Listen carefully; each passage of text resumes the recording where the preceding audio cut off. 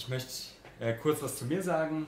Wie schon gesagt, ich heiße Jan Wegener, gehe hier am Gauss in die 13. Klasse, bin also bald fertig und interessiere mich allgemein für nachhaltige Technologie, Elektronik und eigentlich alles im Bereich MINT. Um ein bisschen spezieller zu werden, 2017 habe ich gemeinsam mit meinem Vater meinen ersten 3D-Drucker aufgebaut. Seitdem dann verschiedene Projekte darauf basiert und damit entwickelt, Veranstaltungen, Messen besucht und auch das eine oder andere Praktikum in dem Bereich gemacht. Ähm, seit 2018 haben wir auch das 3D-Druckthema in dieser Schule und mittlerweile leite ich im etwas professionelleren Bereich die 3D-Druckabteilung bei der Subway AG. Ähm, ja, was versteht man unter 3D-Druckern? Die Wikipedia sagt dazu, der 3D-Druck ist eine umfassende Bezeichnung für alle Fertigungsverfahren, bei denen Material Schicht für Schicht aufgetragen wird, um dreidimensionale Gegenstände zu erzeugen. Das lasse ich jetzt auch erstmal so stehen. Grob gesagt, die Grundidee ist es, ein digitales 3D-Objekt, was ich zum Beispiel am Computer gezeichnet oder modelliert habe, in ein physisches Bauteil zu überführen. Das Ganze soll additiv passieren, heißt, indem Material dazugegeben wird, bei Addition. Ähm, das Gegenteil zur additiven Fertigung ist die subtraktive Fertigung, dabei wird Material entfernt. Ein äh, ganz gutes Beispiel ist, wenn ich zum Beispiel ein Holzbrett nehme, da ein paar Löcher reinbohre, noch irgendwas abfeile, dann habe ich Teile vom Holz entfernt, um ein Bauteil zu erstellen.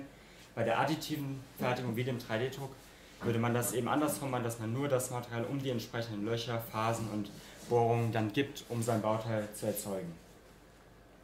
Beim 3D-Druck will man so vorgehen, dass man viele dünne Schichten übereinander stapelt, um so sein dreidimensionales Objekt zu erzeugen. Und klar ist, für verschiedene Anwendungen, Materialien, Detailgrade gibt es dann eben auch verschiedene Verfahren. Beispiele sind SLA, SLS, FDM bzw. FFF und auf letzteres möchte ich in diesem Vortrag genauer eingehen. Fused Deposition Modeling, kurz FDM und auf Deutsch so viel wie Schmelzschichtverfahren, ist zunächst ganz grundsätzlich mal ein geschützter Markenname, seit 1995 äh, durch äh, Stratasys. Und in der quelloffenen Bewegung, wo eben so 3D-Drucker offen, nicht kommerziell entwickelt wurden, hat man sich dann auf ein Synonym geeinigt, namens FFF, kann zum Beispiel als Fused Filament Fabrication gedeutet werden, was eben dann offen verwendbar ist. Wichtig zu verstehen ist nur, dass diese beiden Begriffe genau dasselbe meinen, also genau auf, auf genau dasselbe Ver Verfahren abzielen und demnach auch gemischt verwendet werden. Ich werde den offenen Begriff FFF nehmen. Jetzt kommen wir auch zur Funktion von diesem Verfahren. Das, die Grundlage ist im Prinzip, dass als Kunststoff, mit dem gedruckt wird, äh, Thermoplasten genommen werden. Die haben die charakteristische Eigenschaft, dass sie bei einer wieder charakteristischen Temperatur schmelzen, dann wieder bei sinkender Temperatur fest werden. Was man dann beim 3D-Druck macht, ist den Kunststoff, der als äh, Filament genannt aufgewickelt ist, ist wie so ein Faden hier, 1,75 mm dick, ähm, zunächst mal fördert. In dem Fall äh, haben wir jetzt hier diese zwei Zahnräder, genannt Extruder. Diese schieben dieses Filament hier grün in Pfeilrichtung nach unten. Und da äh, durchläuft es zunächst einen gekühlten bzw. nicht beheizten Bereich. Da ist es, wie man auch hier sieht, ziemlich fest. Und dann gelangt es im Prinzip hier an dieser Schwelle in einen thermisch getrennten heißen Bereich. Also den lasse ich, der lässt sich beliebig beheizen. Für so ein PET-Material wären es dann zum Beispiel 220 Grad, wo dieses Material flüssig wird. Und durch das noch feste nachkommende Material an dieser Stelle wird dann der flüssige Teil durch diese Düse gepresst und tritt dann als ein sehr dünner Faden aus. Also wenn man die Düse zum Beispiel 0,4 mm dick macht, dann hat der Faden einen Durchmesser von 0,4 mm. Gut, wenn ich das Ganze habe, muss ich diese Düse, wo der flüssige Kunststoff rauskommt, im Prinzip nur noch im dreidimensionalen Raum bewegen. Das kann man sich ganz gut an so einem kartesischen Koordinatensystem klar machen. Wenn ich es nun eben schaffe, die eben gezeigte Baugruppe in einem hier definierten Bereich zu bewegen, jeden beliebigen Punkt darin anzufahren, dann kann ich mein Modell im Prinzip beliebig aufbauen und drucken. Das Ganze passiert, wie gesagt, Schicht für Schicht. Ähm, so eine Vase ist zum Beispiel 3D gedruckt und wenn man dann da äh, näher reinschaut, näher reinzoomt, sieht man eben hier ziemlich gut die einzelnen jeweils 0,3 mm dicken Schichten. Um es nochmal zu verdeutlichen, ja, wenn jetzt diese Düse zum Beispiel einen Kreis abfährt,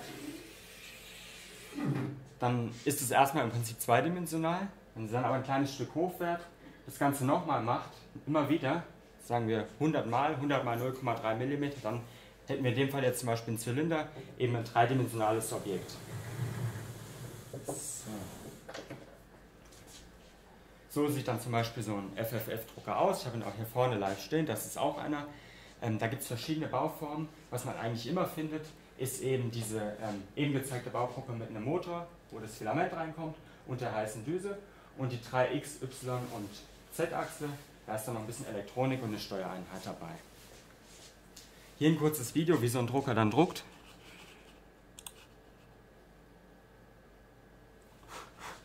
Oder auch nicht. äh, ja, lassen wir, das, lassen wir das Video aus. Das kann ich äh, gerne im Nachgang nochmal zeigen oder den Drucker live starten. Ich wollte kurz noch den Ablauf erklären, wie man vorgeht, wenn man sein digitales 3D-Objekt mit so einem Gerät ausdrucken will. Was man macht, ist es in einen sogenannten Slicer geben. Das ist ein Programm, wie der Name sagt, das, das das Modell in ganz viele einzelne Schichten einteilt und dann eben für jede Schicht die x- und y-Koordinate berechnet und dem Drucker sozusagen sagt, wo sich, äh, welche Achse sich mit welchem Motor wie bewegen muss, damit zum Beispiel so ein Kreis entsteht. Das Ganze ist dann Maschinencode, genannt G-Code. Und damit kann ich letztendlich zum Drucker gehen, er kann diese Datei verarbeiten und daraus drucken. So sieht dann zum Beispiel ein sehr kleiner Teil von so einem G-Code aus, ganz viele Koordinaten für x, y-Achse. Ein bisschen später wird dann noch die z-Achse kommen, die ein kleines Stück hochfährt. Und davon hat man dann hunderttausende von Zeilen, die dann äh, nacheinander von dem Drucker abgearbeitet werden. Nun möchte ich ein paar praktische Beispiele für 3D-Druck geben, was ich so in den letzten Jahren gemacht habe. Zum einen ist es ein 3D-gedruckter Roboterarm, da sind alle weißen und hellblauen Teile dran äh, vollständig gedruckt und einzig ein paar Motoren, ein bisschen Elektronik und Schrauben sind eben nicht gedruckt. Ähm, das Faceshield-Projekt am Gauss-Gymnasium haben vielleicht ein paar von Ihnen mitbekommen. Da haben äh, Herrn Gandelheit, Nils Götz, ehemaliger Schüler und ich angefangen, ein paar äh, dieser Gesichts- äh, Schutzschilder hier zu drucken.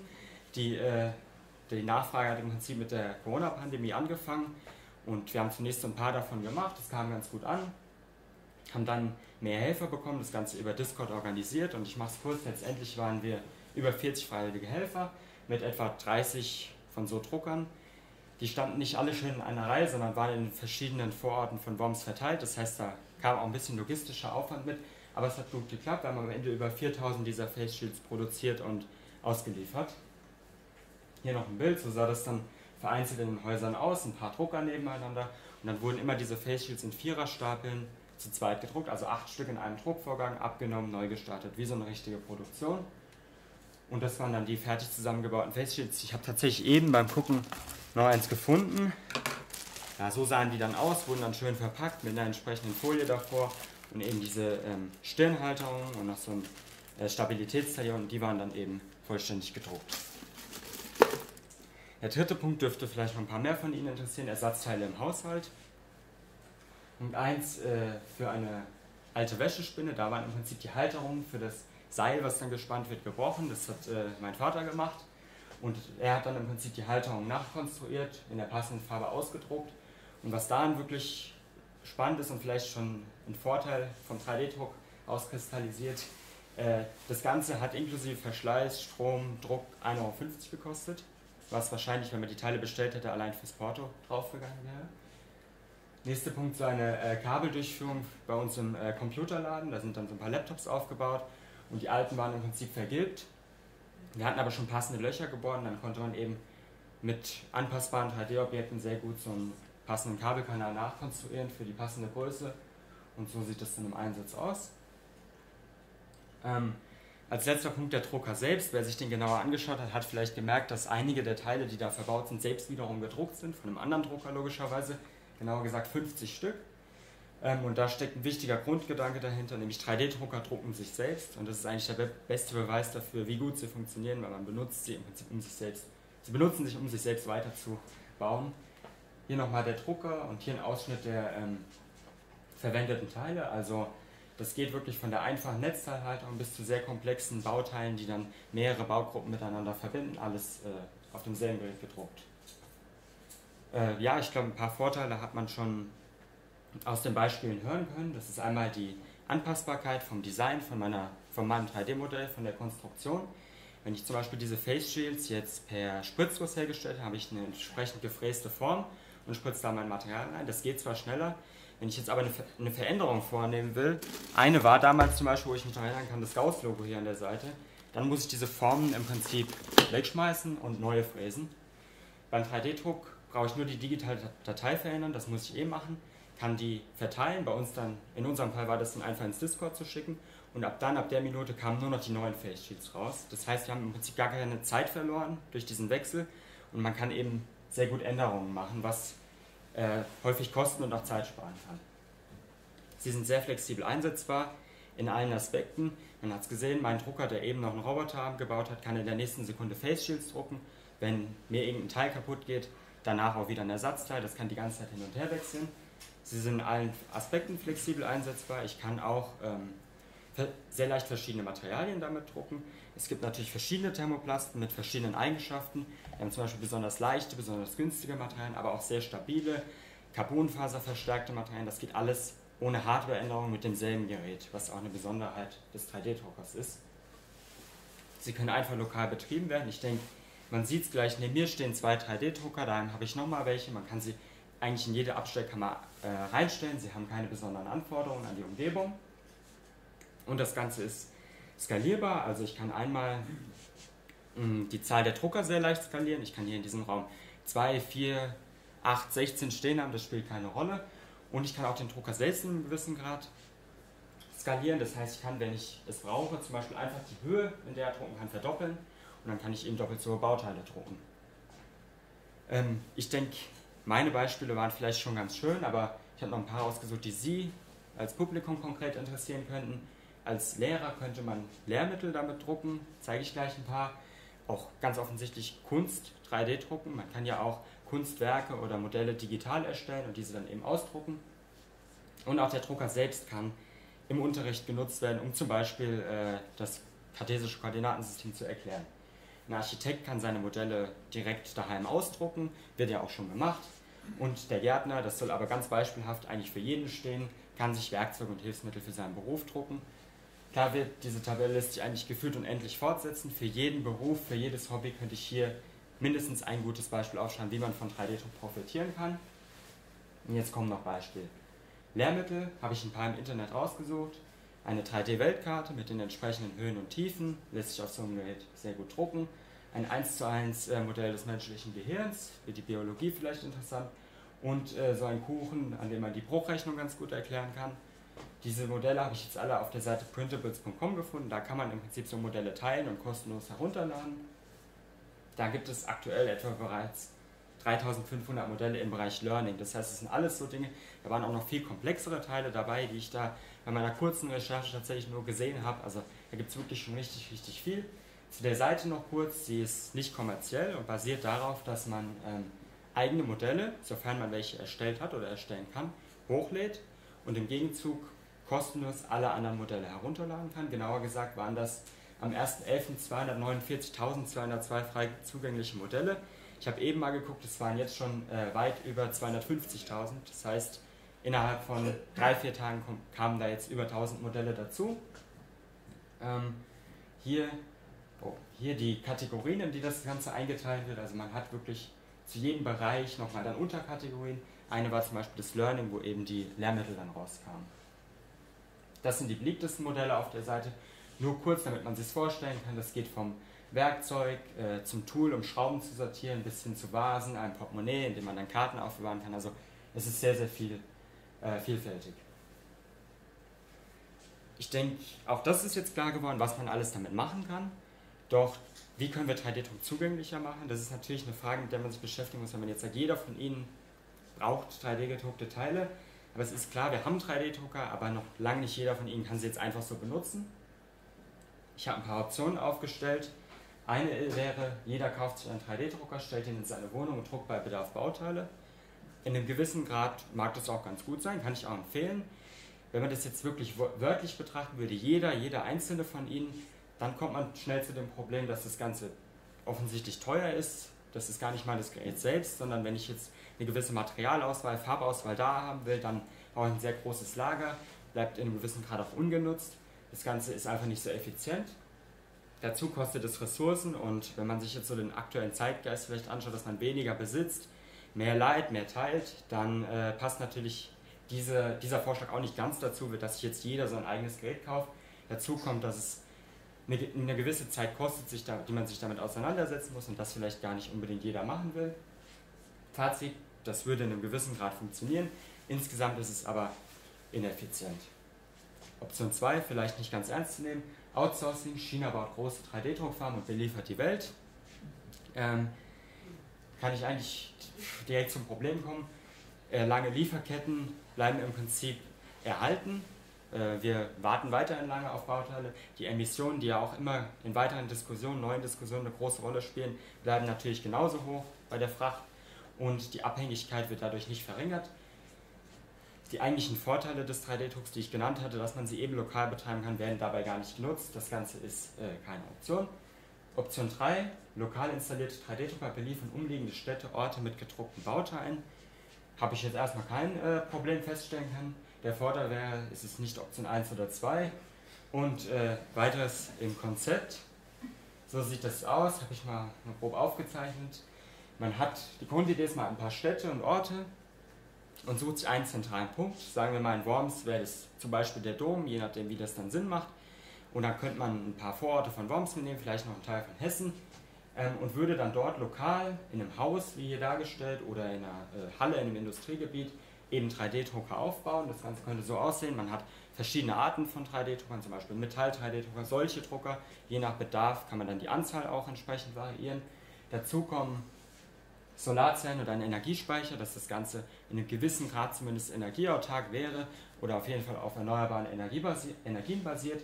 Und wir hätten eben auch den Vorteil, dass man ein Materiallager anschaffen könnte mit eigentlich allen verschiedenen verfügbaren Materialien und Farben, das was eben die Einzelperson äh, nicht leisten könnte.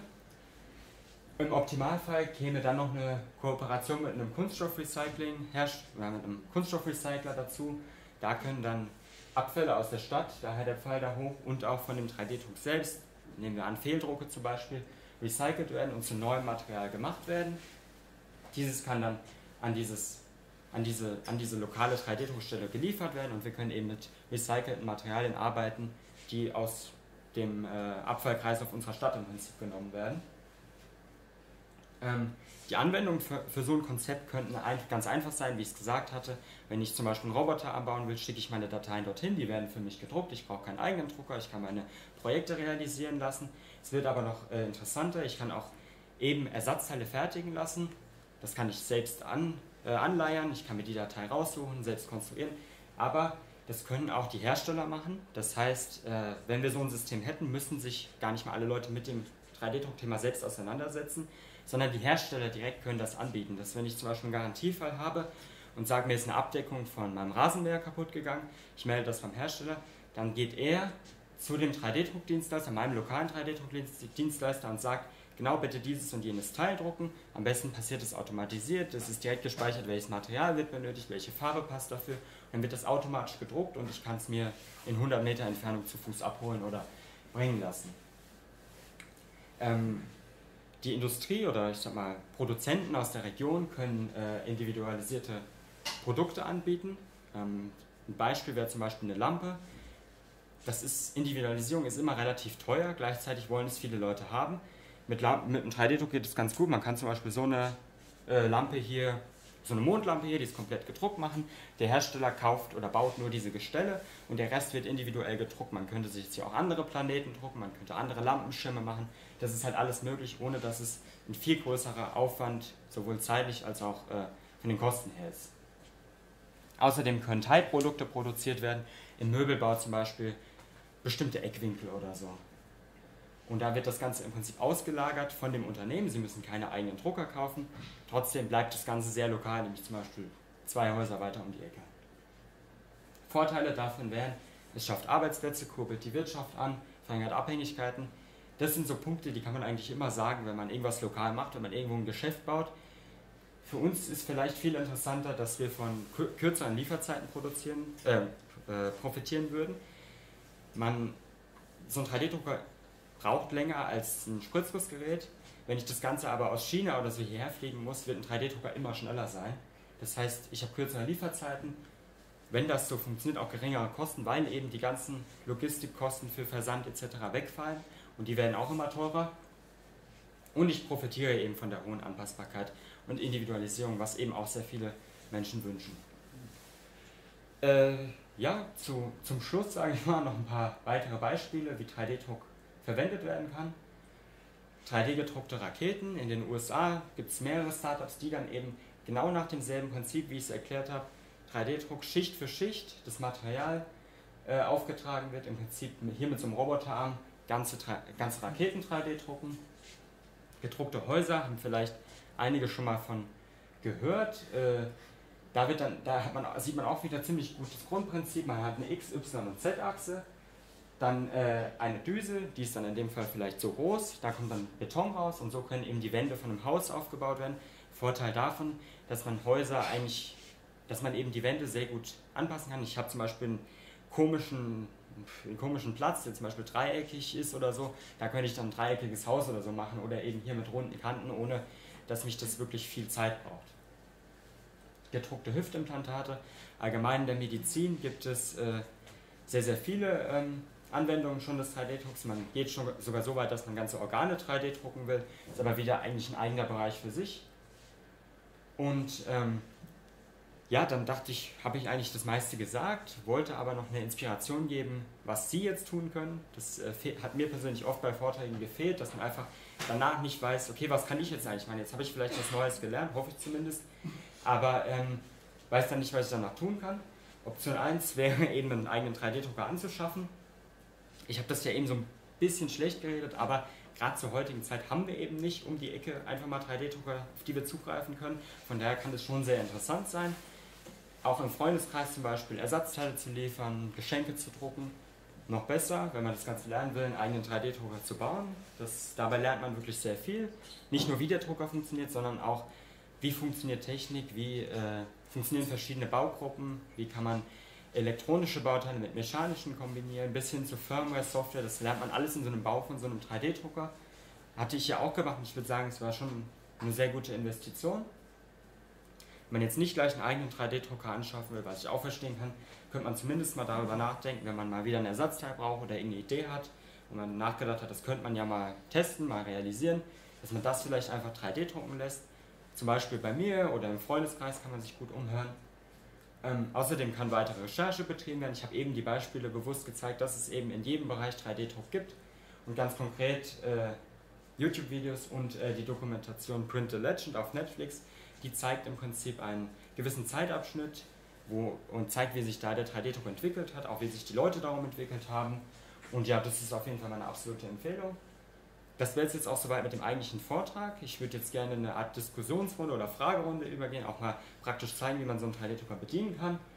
Wenn Sie mich trotzdem nachträglich kontaktieren wollen, habe ich hier noch aufgelistet, also intern iSurf, privat hello at XYZ und äh, geschäftlich finden Sie dann alles unter subweb.jw. Ja, das wäre es dann erstmal.